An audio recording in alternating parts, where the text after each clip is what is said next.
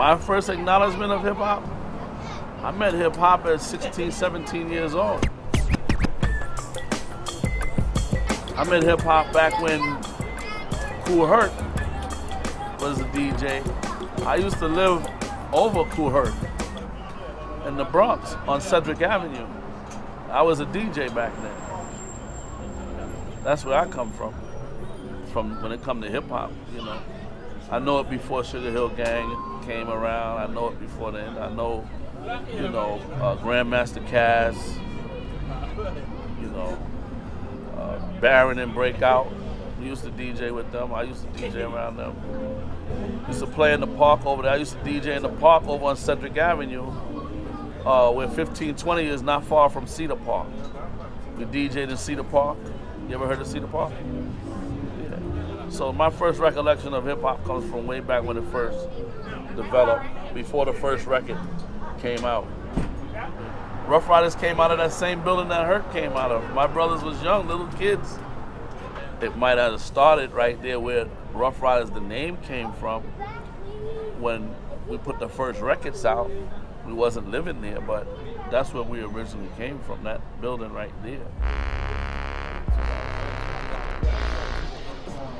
We did our first deal with um, Ruff House Columbia for DMX. It was a single deal, and we had got a budget of about seventy to eighty thousand dollars. And my father had a building in Yonkers. He was there working, and we we asked him, can we build a studio in his building? And he let us build a studio with that money on the top floor in the in the, in the recording studio. So Yonkers is the foundation, but we're from a little bit everywhere. We're from Yonkers, we're from Mount Vernon, we're from we from Harlem, from the Bronx, where we started.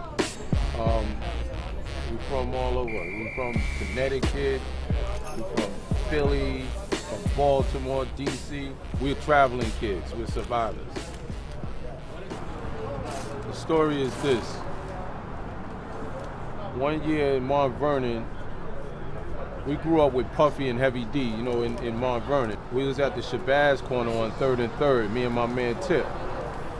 And asked, asked, asked Heavy D, he came out of his white Range Rover and asked him a question and said, yo, listen, we trying to get in the music industry. You know, we, how can we, you know, how can this happen? So he said, I'm not making no promise to you. I'm not guaranteeing you no deal or anything. But all you have to do is get an artist you believe in and make hits. And he inspired us, you know, from, you know, me and Tiny, we were standing there and he said, I have, I asked him, oh, you know any artists? He said, I know the perfect artist.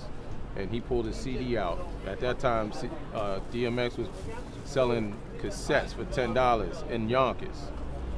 And, and I played the CD with him, I mean, uh, the cassette.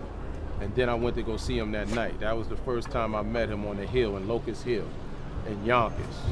When I heard him on tape, I, I believed in his skills.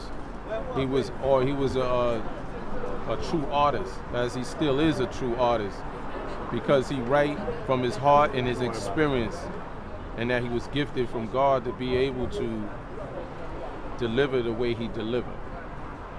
He went through a whole lot. He was, he grew up in you know, some of the worst places in the Yon in Yonkers. But he survived. But he never, he, no matter what his condition was, he always he always write lyrics. So he was a true artist. With the money or without the money, he always made sure he he, he write. And that's what I love about X.